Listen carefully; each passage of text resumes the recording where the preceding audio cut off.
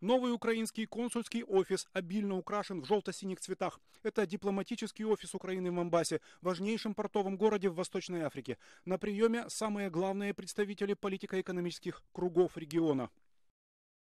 Мы должны использовать эту возможность для ускорения развития наших очень перспективных отношений. Как вы сейчас видите, наш новый консул хорошо подготовился к нашему общему удовлетворению. Ну, конечно, по приказу министра иностранных дел Украины. С утра до вечера мы должны искать пути для упрочения наших отношений. Консульство здесь предоставит очень большую поддержку нашей взаимной торговле, повышению активизации наших экономических отношений во всех аспектах. Но самое главное то, что сотрудники этого консульства – это источник информации об Украине, это основа прагматических взаимовыгодных отношений с Кенией.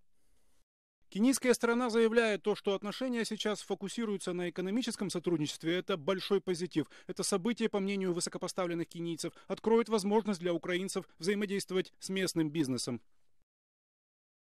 Я хотел бы поехать в Украину, теперь я имею причину, чтобы в ней побывать. Ожидайте меня, мои друзья, уже совсем скоро.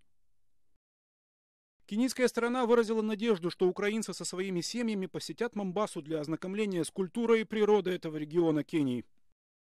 Мамбаса – это перекресток цивилизаций, сосредоточение мировой истории.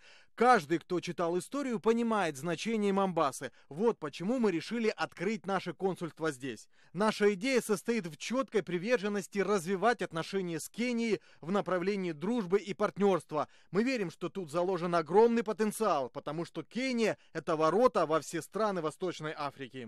Стороны подписывают необходимые дипломатические документы о назначении первого украинского консула в кенийской Мамбасе. Им станет уроженец Мариуполя Алексей Серков, который уже много лет живет в этой стране. Алексей Серков, кто действительно содействует нам вместе с Кенией, кто нашел здесь свой дом, кто понимает Кению, ее людей – если вы думаете, как начать ваши отношения с Украиной, вы должны ему позвонить. И он сразу же сделает так, чтобы развивать бизнес и туризм. Но главное, как установить связь между нами.